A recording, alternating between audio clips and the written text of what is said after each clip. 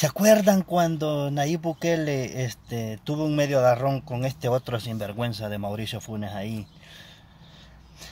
Donde dijeron de que el sinvergüenza de Mauricio Funes tenía un sueldo en, allí en el gobierno de Nicaragua como de dos mil y algo, no sé.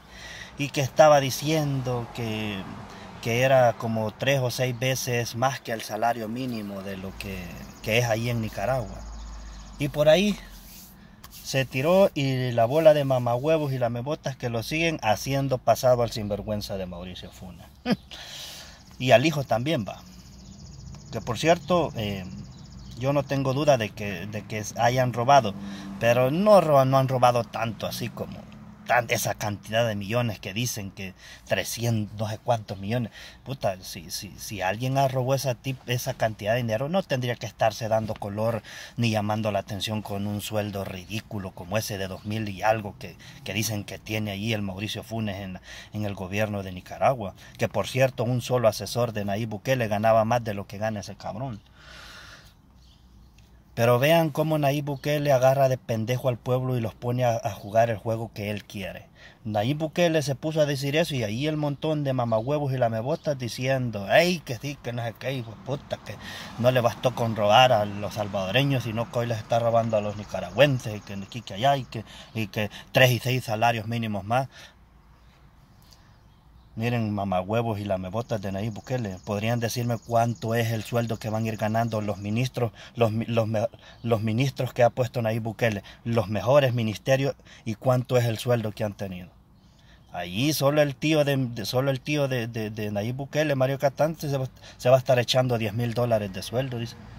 ¿Podrían decirme cuánto es más del cuántas veces es el salario mínimo ahí en El Salvador? Alguien que gana 10, que va a estar ganando 10 mil dólares del dinero de los salvadoreños. ¿Cuánto es, cuántos salarios mínimos representan 10 mil dólares de sueldo mensuales que se va a estar echando el, tío de Nayib Bukele ahí? Y los otros, no sé, tápenme los hocico. Ustedes, ustedes que siguen a Nayib Bukele no tienen argumentos para, para, para, para desmentir nada.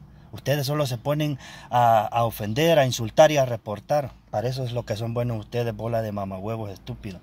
No sean tan sinvergüenzas, hombre. Si van a estar acusando a otro hijo de puta que, que está malversando, que está robando que tiene tantos sueldos mínimos como salario, puta, véanle, vean, véanle los cheros de Nayib, la familia de Nayib, cuánto se va a estar echando.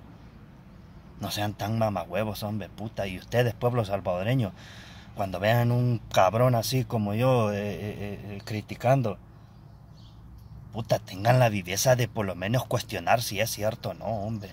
No sean, no se hagan tan pendejos, hombre. Que estos políticos de mierda que han tenido desde siempre, que no los agarren de sus pendejos.